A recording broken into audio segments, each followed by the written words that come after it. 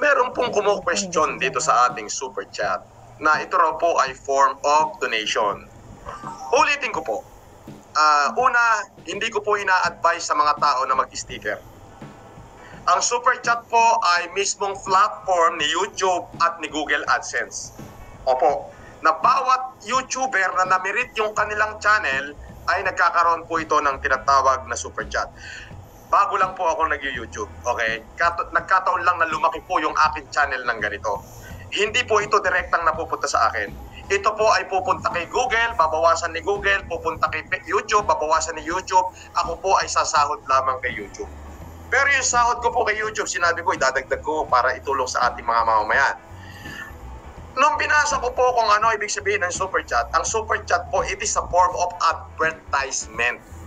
Dahil nga po mabilis yung mga nagtatype, para mapansin ng isang host yung kanilang message, bumibili ho sila ng sticker para mabati sila, para mabanggit yung kanilang mensahe. Yun po yung ibig sabihin ng super chat. It is not form of donation. It is an advertisement of a channel. Yun po yun. Parang halimbawa, may TV ako.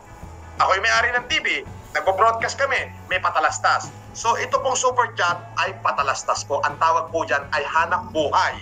Parang ako, ako yung anchor dito, ako yung nagsasalita. So natural ho na magkaroon ng advertisement. Eh, liliwanagin ko ho yun.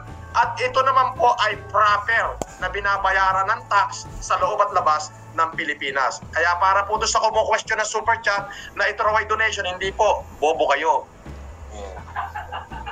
Ano sabi nung isang abogado? Huwag kang bobo!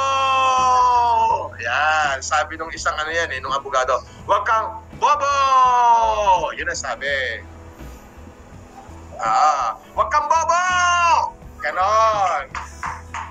Ah, kasi po, ah, sinabi nila na yung super chat daw ay panghihingi ng donasyon. O, huwag kang bugok. Ha? Kasi, ang super chat po ay it is a platform na ginawa ni YouTube at ni Google AdSense. Okay po, TV. Meron po kaming ano, channel. Ito, channel. Ito po YouTube channel is channel po ito eh. So ito, dito sa channel ko, may hanap buhay na tinatawag. Kumbaga yan yung mga advertisement. So yung super chat po, it is a form of advertisement ng pagbati or sabi may may magpapa-shout out. So, yun po ay pampalito, pandagdag oras ko po yun eh. Let's say na natatapos ko na sana yung aking broadcast dahil nagpapa-shout out sila para mapansin sila, nagbabayad po sila ng sticker. Pero yun ho, hindi obligasyon eh. Kahit hindi ho kayo mag-sticker, walang problema. Ang, ang, ang sa akin lang, pagkatapos ko mag-vlog, doon ko re-reviewin yung mga message nyo. Di ho ba?